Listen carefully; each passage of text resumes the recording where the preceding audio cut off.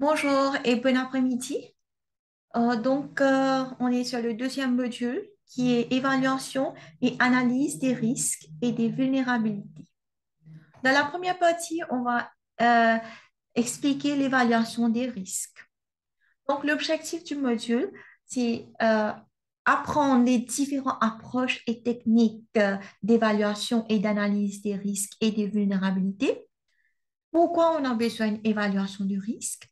Les limitations rencontrées lors d'évaluation des risques, euh, les différentes approches d'évaluation des risques, le processus d'évaluation de risque, évaluation de la vulnérabilité et les différentes dimensions de la vulnérabilité, et aussi les exemples d'approches d'évaluation et de la vulnérabilité qui est basée sur des différents indicateurs.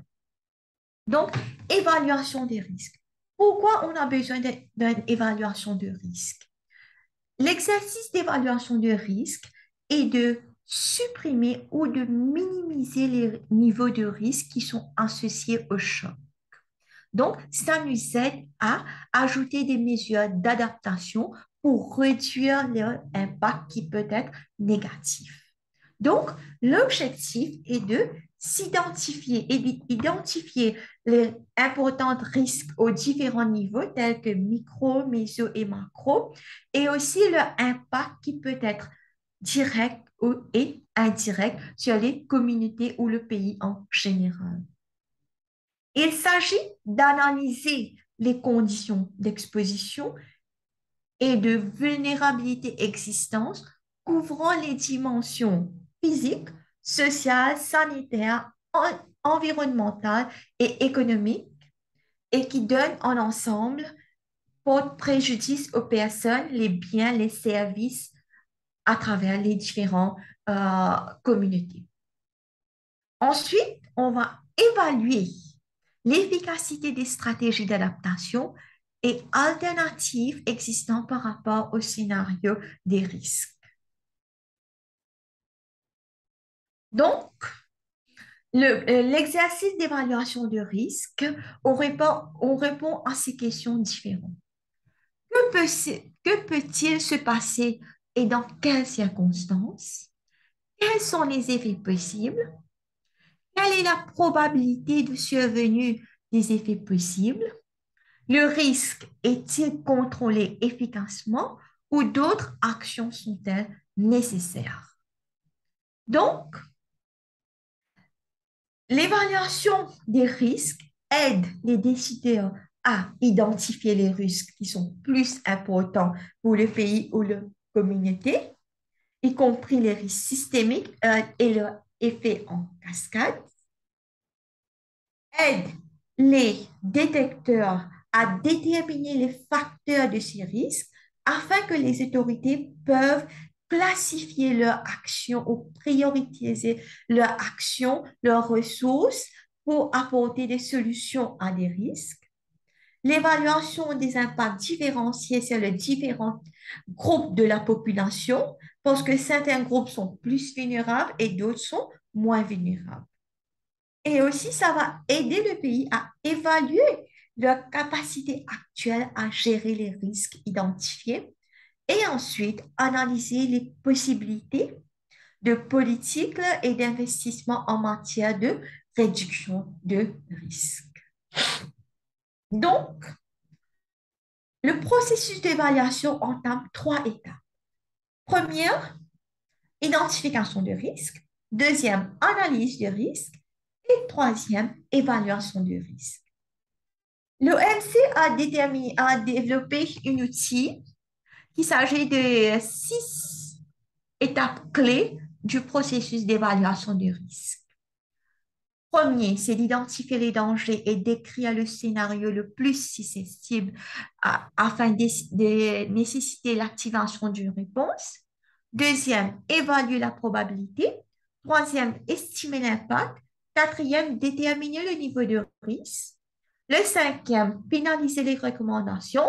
Et le dernier, intégrer ces recommandations pour qu'on ait des actions prioritaires dans les plans d'action nationaux ou locaux. Première étape, identification de risque.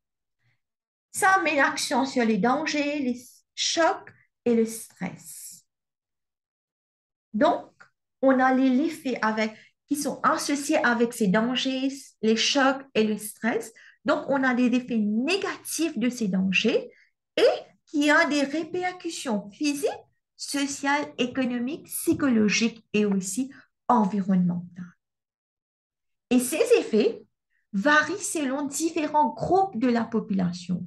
Quand certains groupes sont plus vulnérables, donc leur niveau, ils sont plus affectés et d'autres, et sont moins euh, vulnérables, sont pas aussi touchés au, au moins euh, extent que l'autre. Et aussi, il est important de se distinguer les conséquences à court terme, à, terme, à différents termes, par exemple, termes court, moyen et long. Donc, toujours dans le processus d'identification des risques, premier, premier, il faut dériver l'échelle et l'ampleur de ces dangers. Et aussi, il faut identifier les personnes, les zones géographiques qui, sont, qui ont la probabilité d'être touchés par cet événement. Et l'exposition des communautés et de la population au choc doit être évaluée. Une estimation de la population à risque est très cruciale pour l'efficacité des interventions et des actions. Et aussi, on décrit le scénario le plus probable pour chaque choc et déminérer les euh, étant plus important pour la communauté. Par exemple, un cyclone, ça a un effet conséquent immédiat et aussi des conséquences, conséquences secondaires. Par exemple, les conséquences immédiates, c'est les destructions infrastructures, routiers, hôpitaux, maisons, les habitations, OK? Et aussi les perturbations dans les systèmes de services de santé. Mais les conséquences euh, secondaires sont des maladies d'origine hydrique, sécurité alimentaire, manque de mobilité, augmentation de la vulnérabilité de certains groupes de la population. Deuxième étape, c'est d'évaluer la probabilité. Donc, la probabilité, ça va être, euh, évaluer la probabilité, c'est basé sur une base de données. Donc, on, doit collecter les données, les informations qui sont historiques liées au danger et aussi les tendances récentes dans les contextes géographiques. Donc, on fait référence à la fréquence et aussi à la saisonnalité. La fréquence peut être exprimée en termes de nombre d'événements. Par exemple, fréquence pérenne, événement qui, euh, euh, qui est régulier ou saisonnier au cours de l'année. Si on a une fréquence qui est récurrente, donc l'événement se produit chaque un à deux ans. Par contre, si c'est un événement très fréquent, donc événement se produit tous les euh, événements fréquents, l'événement se produit tous les deux à cinq ans moins. Et événement rare, l'événement donc 5 à 10 ans, et c'est une fréquence aléatoire, donc l'événement est imprévu, donc la fréquence ne peut pas être déterminée. La saisonnalité concerne surtout la période de l'année au cours de laquelle la probabilité de survenue de risque est plus élevée. Par exemple, pour le cyclone, sont euh, entre janvier et mars. Et le niveau d'être survenu, peut-être, il est presque probable que le choc se produise. Et donc, euh, avec une probabilité, allons dire avec une probabilité de 95% ou plus. Troisième étape, c'est d'estimer l'impact. Donc, ici, on va calculer l'impact du choc et du stress. Et l'analyse de risque est basée sur les données quantitatives. Donc, l'impact de choc est basé sur trois éléments, la gravité, la vulnérabilité, la stratégie d'adaptation.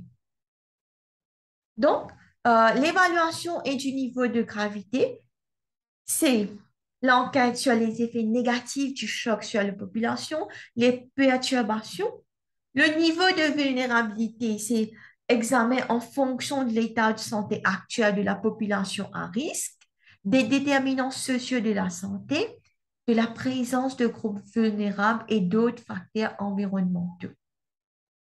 La stratégie d'adaptation sont les mesures de, de la capacité d'adaptation.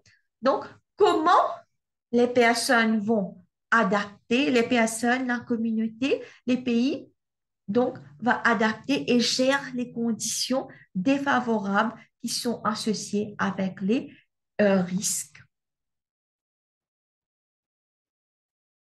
Toujours sur estimer l'impact, on a l'évaluation de la gravité. Dans cette catégorie, les niveaux de conséquences négatives sur la population, on peut prendre en considération mobilité, mortalité, stress mental, blessures. L'impact sur le personnel de la santé, les, perturbations de les services essentiels tels que transport, alimentation, santé. La prochaine, c'est évaluation de la vulnérabilité. C'est basé sur les données sociodémographiques qui est relatif à la population à risque, tels que sexe, âge, moyens de subsistance, revenus, chômage, état de santé de population à risque, les comorbidités, l'âge, les maladies chroniques, malnutrition, présence de groupes qui sont vulnérables, par exemple les migrants, les réfugiés, les personnes sans abri, les femmes, les personnes autrement capables, et les facteurs environnementaux, la gestion des déchets, accès à l'eau, potable, électricité. Et finalement, l'évaluation de la capacité d'adaptation spécifique au danger, c'est la euh, politique, stratégie les différentes stratégies intervention, législation, les systèmes réglementaires nationaux, nationaux qui intègrent la capacité d'intervention, la disponibilité opérationnelle et la réponse aux urgences. Du côté de la secteur, le secteur de la santé, on a la capacité fonctionnelle des établissements de santé et unités d'urgence sanitaire. Et dans le secteur non sanitaire, on peut avoir le système de surveillance et d'alerte précoce existence pour les risques hydrométéorologiques, sociétaux et environnementaux. On a aussi la capacité communautaire qui englobe connaissances et pratiques de populations vulnérables concernant les dangers et les mesures de prévention de contrôle. Euh, les ressources, c'est les ressources financières pour la capacité d'intervention. Donc, d'après l'outil de l'OMS, on va calculer le score sur une moyenne de la gravité, vulnérabilité et capacité d'adaptation. Donc, on divise le tout par 3. Et si on a un score de 1, donc l'impact est négligeable. Par contre, si le score est 5, c'est plus critique. Et quatrième étape, c'est déterminer le niveau de risque. Si on prend en considération la probabilité et aussi l'impact de ces risques. On a une matrice qui en a les deux dimensions, l'impact et la probabilité de ces risques. L'impact peut être négligible ou très critique. Par contre, la probabilité peut être moins fréquent ou très fréquent. Et si l'impact est très critique et la probabilité que cet événement, c'est certainement que cet événement va être euh, lieu, donc c'est très risque. Ce sont les casiers qui sont en rouge. C'est le niveau de risque est très, très, très élevé. Par contre, si on a une probabilité qui est négligible, presque zéro, OK, euh, et l'impact, euh, probabilité moins, moins très, très, très que ça va euh, avoir lieu, et l'impact est négligible, on est, on est dans le carré vert, les carrés verts, donc l'impact est très faible, bas. Par contre, si c'est d'un niveau moyen, donc euh, l'impact est moyen et probabilité que cet événement va être lieu disons, 0,5 ou plus. Donc, on a dans les casiers jaunes qui est au niveau moyen. Par exemple, la, la pandémie de COVID-19, c'est un, phénomène qui est très, très high risk, donc le niveau est très, très élevé parce que l'impact, c'est critique et probabilité, c'est certaine. Donc, on va catégoriser ça comme être risque très élevé. Par contre, le virus Zika, qui, en a un impact sévère, mais la probabilité est très moins certaine, donc ça va être dans les carrés jaunes, c'est moyen. Cyclones aussi, on peut être euh, les cyclones, donc euh, ça dépend. Euh, si c'est très critique, ça va être dans le carré rouge, mais si c'est moyenne, donc ça peut être dans les carrés jaunes. La cinquième étape, c'est de finaliser les recommandations. Ici, on va dériver un plan d'action prioritaire qui comprend les différentes recommandations. Et les recommandations sont basées sur les mesures et les actions prenant en considération les risques et qui permettront aux autorités ou à la communauté d'améliorer la capacité d'intervention et de réagir en face du danger. Et les actions prioritaires est basées sur le concept SMART qui est spécifique, mesurable, atteignable, réaliste et temporellement défini. Et la dernière étape, c'est d'intégrer les recommandations et les actions prioritaires dans les plans d'action nationaux ou locaux. Ici, on a les plateformes de plaidoyer qui doivent être mises en place pour faciliter l'intégration de ces recommandations et ces actions prioritaires dans la planification nationale et locale. Les parties prenantes et les décideurs concernés doivent d'abord soutenir ces processus d'intégration et ensuite, les autorités doivent déterminer ces processus de planification ainsi doivent, euh, aussi doivent déterminer les délais et les ressources nécessaires pour intégration de ces recommandations dans les plans nationaux et locaux. Maintenant, on a les limitations à propos des évaluations de risque. La première limitation, c'est à propos de l'incertitude. Tous les événements ne peuvent pas être anticipés ou leurs impacts potentiels ne sont pas entièrement quantifiés. Par exemple, COVID-19.